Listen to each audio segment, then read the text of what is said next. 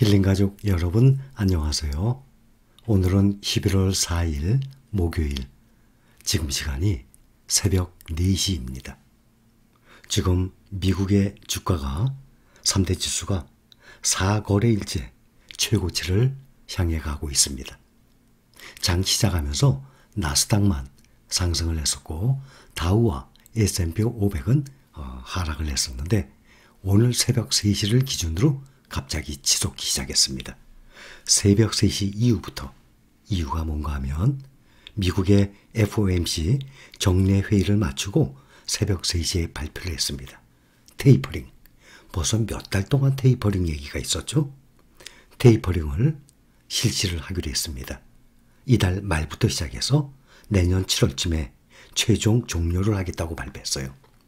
그 발표를 하자마자 폭락이 아니라 오히려 해소가 됐구나 하고 지금 급등 중에 있습니다. 어, 다우가 0.18% 지금 기술주가 많이 오르고 있어요. 특히 기술주 대형주들 또 필라델피아 반도체 이러한 기술주들이 많이 오르고 있습니다. 0.89% 1% 가까이 상승 중이에요. 그 다음에 S&P 500은 0.54% 지금 현재 3대 주수가 4거래일째 똑같이 최고치를 어, 넘어서고 있어요. 이런 경우도 드뭅니다.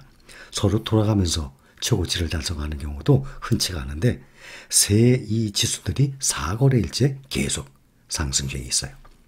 기준금리는 동결을 하기로 했습니다. 금리는 좀 더 있어야 될 것입니다. 금리를 올린다 그래도 문제 안 됩니다. 제가 몇 번 말씀드렸죠? 테이퍼링 아무 문제 없어요. 혹시 일시적으로 출렁거릴지 몰라도 그것은 큰 문제가 안 됩니다. 항상 말씀드렸듯이 그런데 오늘 새벽 3시에 발표를 하자마자 지금 급등 중에 있습니다. 높은 인플레이션은 일시적인 것으로 판명될 것이며 빠른 금리 상승은 필요하지 않을 것이라는 그런 입장을 계속 고수했습니다.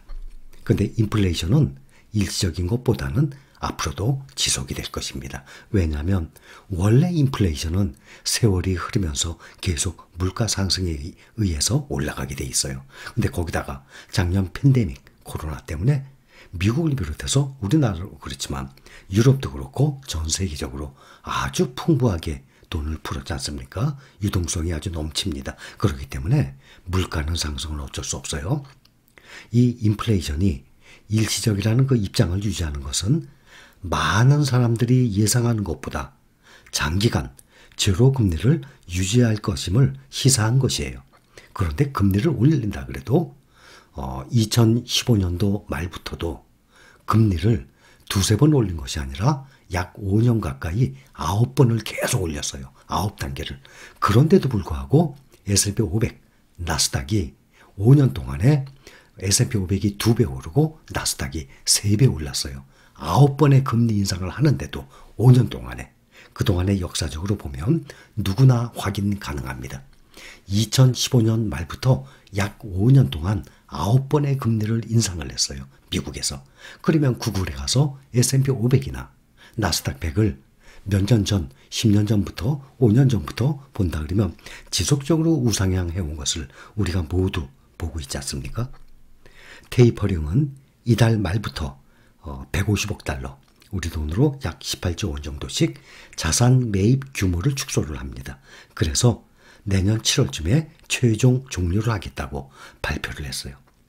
그런데 중요한 것은 미국은 우리나라와 달리 대부분의 국민들이 직간접적으로 주식에 관여를 하고 있어요.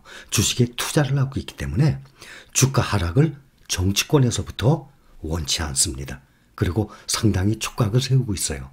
우리나라는 반대로 주식시장은 좀 등한시해요. 우리나라 정치권은 부동산에는 신경을 많이 쓰죠. 알고 계시죠?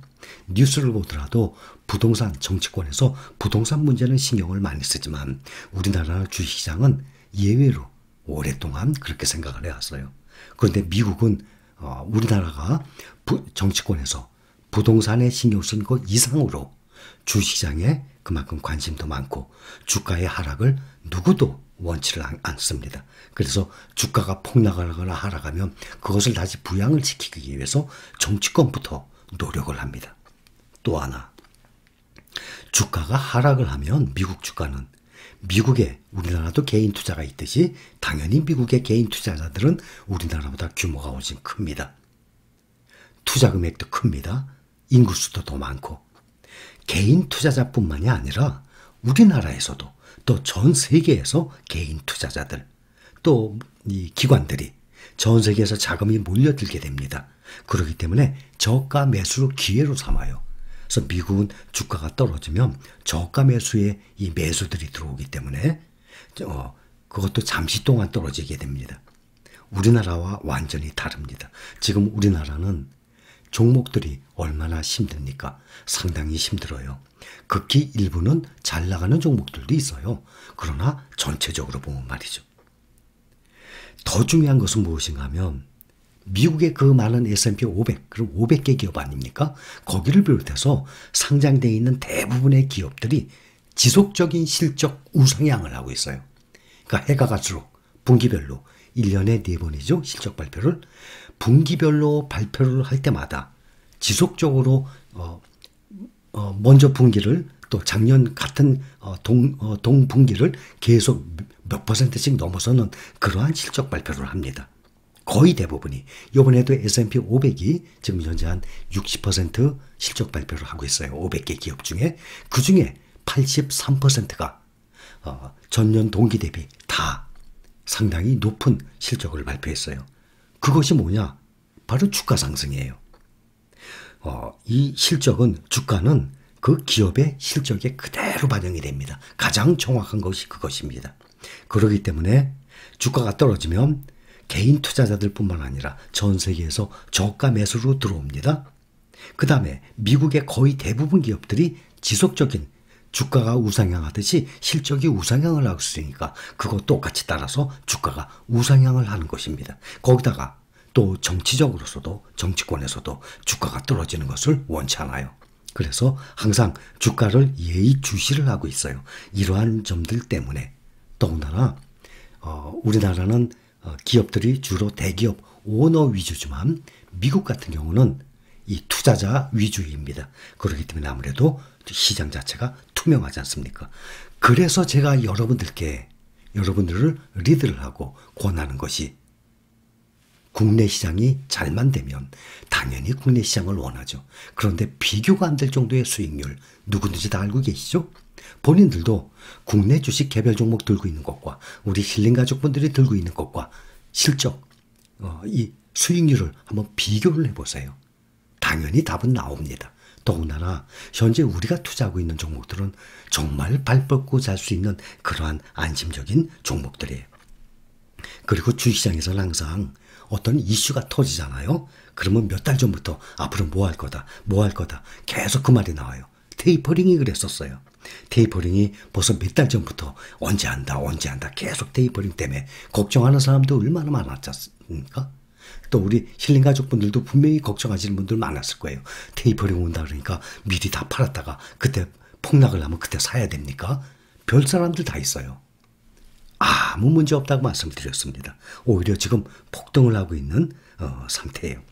그래서 뭐 한다 뭐 한다 그러다 결국에 결정이 나잖아요. 그래서 발표하면 오히려 약재 악재가 어, 해소가 됐다 생각을 하고 오히려 지수가 상승을 해왔어요. 그런 경우가 상당히 많았습니다. 대표 대형주들 보면 거의 다 지금 상승 중에 있어요. 필라델피아 반도체들도 거의 모두 상승 중에 있습니다. 또 중요한 것 또 하나가 달러 환율. 우리는 미국 주식에 투자하고 국내에서 원화로 투자해도 미국 지수, 미국의 종목들에 투자를 하고 있기 때문에 달러가 강세가 되게 되면 당연히 그 혜택을 그대로 보게 됩니다. 지금 앞으로도 테이퍼를, 테이퍼링을 하고 금리를 올리고 그렇게 되면 달러가 강세가 돼요. 지금 요즘 달러가 떨어졌다가 다시 현재 1182원까지 또 올라왔어요.